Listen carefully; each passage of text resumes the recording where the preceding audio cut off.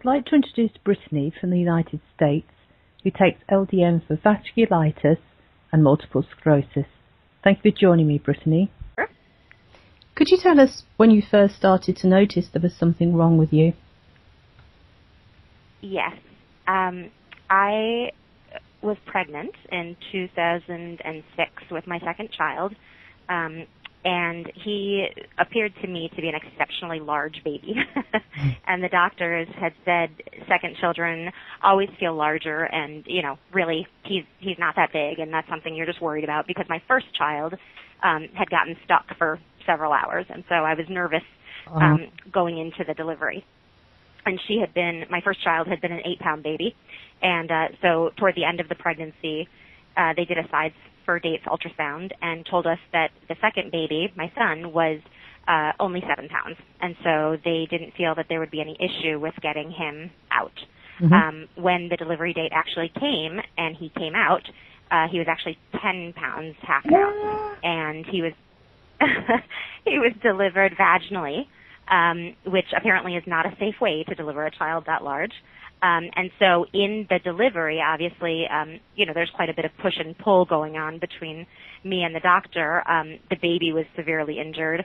Um, oh, no. And I, I apparently, uh, had suffered three dissections, uh, swelling of my vasculature in the brain, multiple pseudoaneurysms.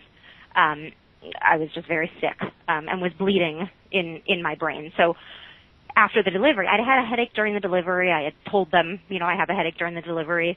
Um, and they said, you can't stop pushing because his head is delivered. And if you stop now, you're going to have a brain damaged or dead baby. So you got to keep going. So I kept mm-hmm. pushing, um, at the advice of the doctors and, um, ended up, you know, being released just fine, went home and, um, that headache just persisted, would not go away. And, uh, called the doctors. They said, you know, take Advil, drink Diet Coke, caffeine. you're probably just oh, tired because you have two babies. Um, and so uh, about two weeks after the delivery, the headache had gotten so bad that I was having visual disturbances, uh, vertigo, um, nausea, and so we called the doctor and they said you need to go right to the emergency room. We went to the emergency room. They ran a CAT scan and came back and said, uh, "You have a spot on your brain. We can't let you go home. We don't know what it is." Um, so I was admitted to the hospital. They did a four-vessel cerebral angiogram and found significant stenosis beading all through the vasculature in my brain. I had dissected both carotid arteries at the neck level going into the um, base of the skull, and I had dissected the left vertebral. And I was I was transferred and admitted to the ICU at uh, Barrows Neurological Institute, which is one of the premier um, neurological hospitals here in the states. And um, they essentially told us you know, we're doing everything we can. We're, I was on massive blood thinners. I was on uh, massive doses of steroids. Um, and they essentially said, we're doing absolutely everything we can to save you. It might not be enough. And at the mm-hmm. time, I had a two-week-old and a two-year-old at home. Um, I was a stay-at-home mom. And uh, so, you know, we just had to sit there and hope for the best. We asked, what else can we do? And they said, pray. mm-hmm. And um, after several weeks in hospital as they were working on anticoagulation to make sure that the dissections didn't clot and end up in a stroke, um, they came to me and said, at this point, we've done all we can do. And so you can either go home and spend whatever remaining time you may have left with your babies, or you can stay in the hospital where if you do have a stroke, we're more likely to be able to catch it. And I felt that um, you know, if death were in the cards, I wanted to be home with my kids. And so um, I left the hospital, went home. Um, my my husband's father is a physician, so I asked if they would allow us to move in with them, um, so that you know, in case I did have a stroke, um, at least we would have a medical professional on site that could help. Um, so I was released to my in-laws' house, where I subsequently had three strokes, um, and uh, and you know was very very sick. And at that point, they felt that this was simply a postpartum complication. Um, they weren't sure what they were treating. They just knew that the swelling and disturbance in my brain was significant enough that, you know, I needed to be on steroids long term. I needed to be on um, various neurological drugs um, to, you know, just be able to cope. There was tons and tons of pain from that injured area in my head, um, daily chronic headaches. It, it was really awful. Um, and slowly, over a period of probably six to eight months, I began to recover. but I was still just a little off. My husband described it as, you know, before you were wicked, wicked smart. Now you're just wicked smart. so mm-hmm. I lost a wicked by my husband's estimation. Um, and, you know, life was really tough. Like I had very little energy. Um, my thinking was just not, it just wasn't there. Um, and it was difficult to, you know, be the caregiver for two children. Um, so, you know, I was kind of slowly working toward trying to get to my previous baseline. Um, and after about a year of kind of recovering, suddenly I started to just not feel well. Um, there was a node that had developed behind my ear, kind of like a, a solid lump feeling. Um, I was exhausted all the time, sleeping a ton, um, not from depression, just because I was exhausted. Um, had some skin lesions that had come up, uh, and we were really trying to figure out, you know, what what could this be. So I went back to the doctor. Um, my neurologist thought perhaps MS. Um, another team of neurologists said no way MS. Um, and I was sent to a rheumatologist who ran another full battery of tests and said, aha, we found it. Uh, you're actually testing positive for a very rare autoimmune disorder, a very rare form of vasculitis called polyarteritis nodosa. And I began a two-year um, treat, course of treatment with methotrexate and steroids. Um, and by the end of that two-year period, uh, I no longer tested positive for it. They considered me to be in remission, but I still didn't feel well. And um, so I went through probably two more years of just feeling unwell. Like I had the flu all the time. So constant body aches, headaches, exhaustion, um, to the point where my kids would get home from school at the end of the day and I would be sitting there trying to help them with their homework and I would fall asleep sitting up on the sofa. Um, and eventually, and you know, there was, I was not doing housework, I was not making dinner. I was I was a walking zombie. Um, and it finally came to a head when I had gone to pick up my kids from school and was driving home, and I fell asleep at a red light with my kids in the car. Oh. and when when that happened, I you know called the doctor and said there's something wrong with me. Like I am not okay, and I might be in remission from vasculitis, but I am not okay. Something is wrong.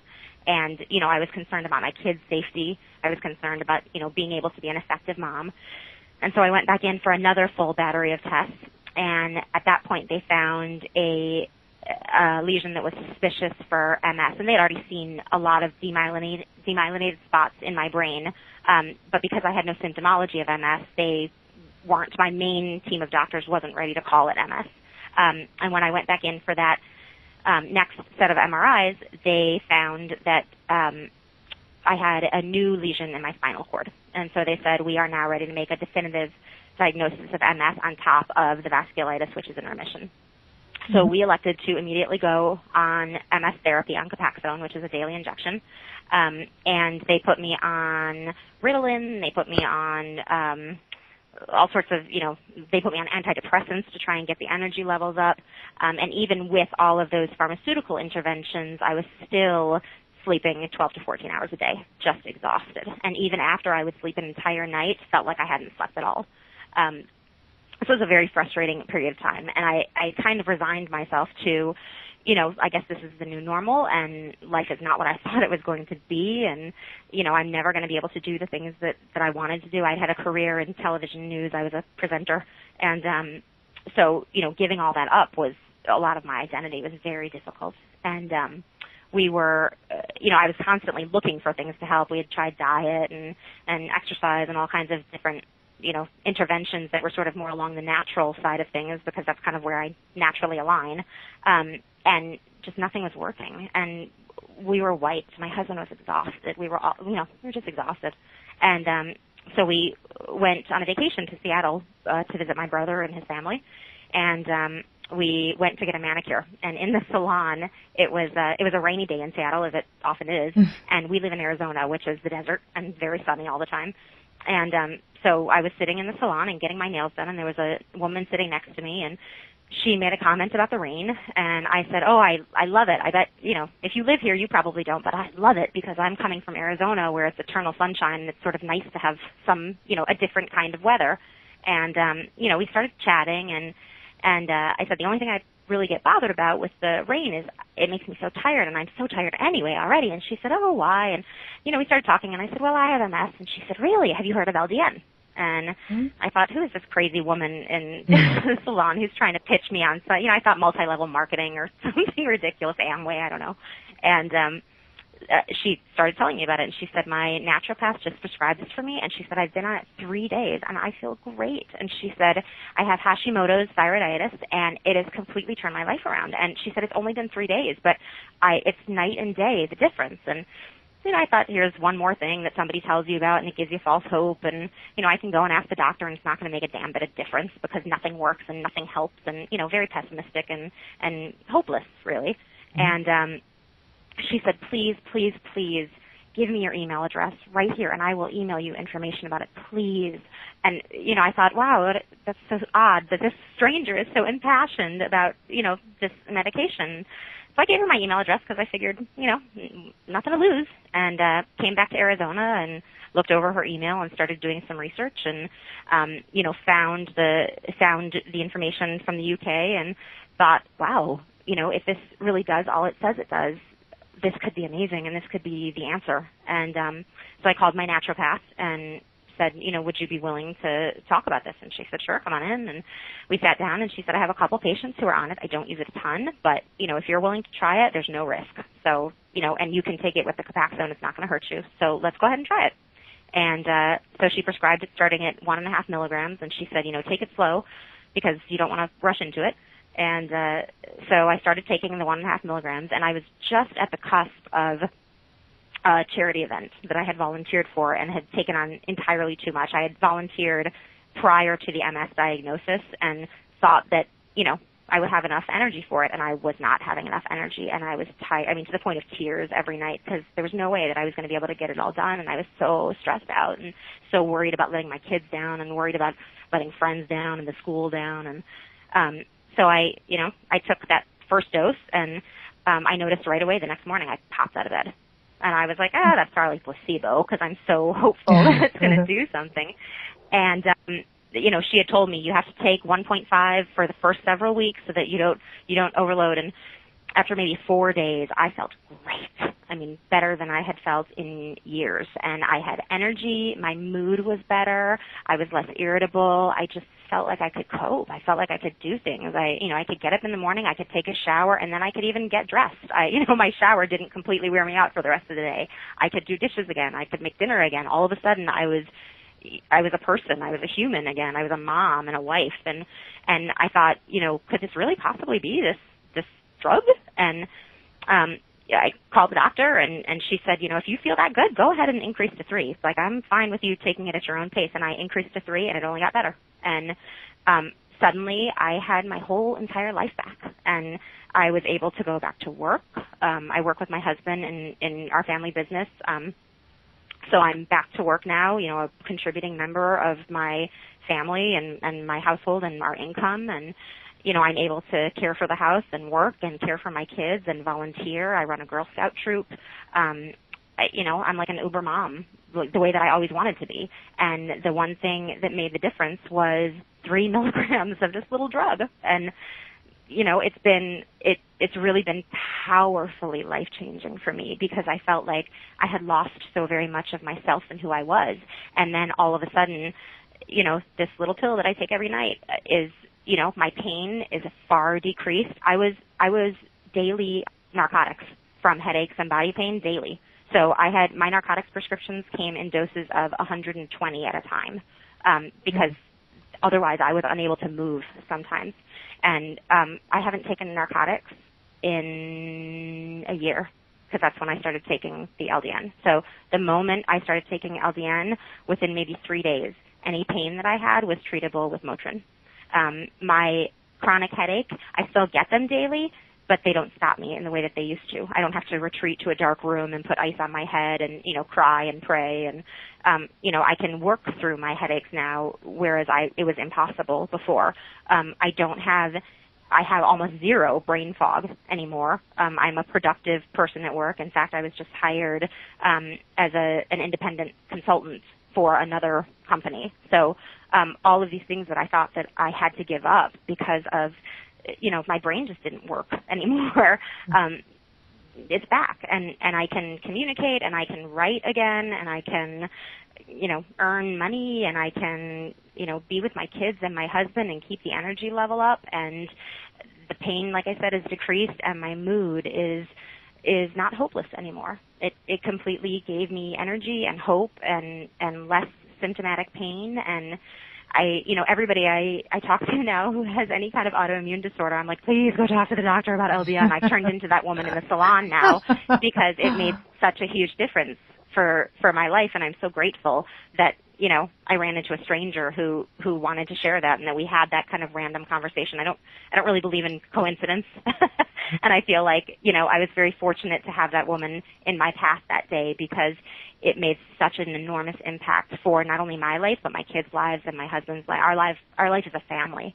Um, and so it, you know, I will never give up my LDN. I will be on LDN forever and ever and ever, um, because it just, you know, like it, it just completely changed my life and I'm, I'm grateful. And so when I was asked to do the patient testimonial, I felt, you know what, I want to pay this forward because it just, you know, it's inexpensive and I have no side effects from it whatsoever. And the benefit, it's all been upside and it, it, it's just made an enormous difference. And I feel like I can be the mom that I wanted to be and I can be the wife that I wanted to be and I can be the person that I wanted to be. And I don't have to compromise because I have an illness and that is a true, true gift and a true blessing. So um, that's my story. oh, it's, it's fantastic. I mean, what a story. Are you still on three milligrams? Did you try going up to 4.5?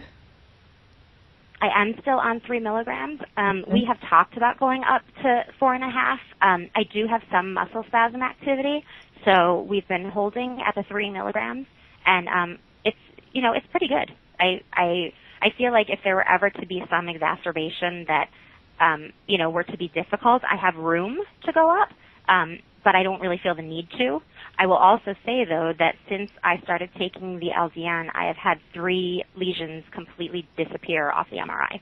Um, and what I've been told by my neurologist is that is unusual. That they don't, that the Copaxone certainly is not doing that. They don't expect Copaxone to take care of lesions. Um, they expect it to prevent new ones. And so um, they were very enthusiastic about the fact that I've had three lesions disappear. Um, and I'm pretty enthusiastic about that too because you know you only have one brain, so you want to preserve that if you can. Um, exactly. So it's you know it's not only my subjective experience that I can speak to, but it's also the objective image from the MRI that tells the doctors that I'm in fact getting better. So that's pretty awesome. Wow. Well, thank you very much for sharing it. I mean, um, wow, just amazing.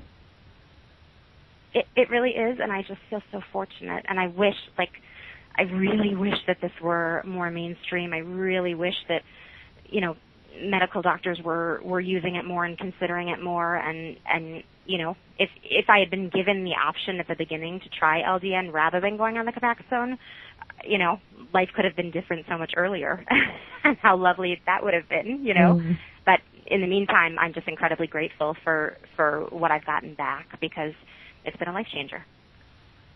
Well, thank you.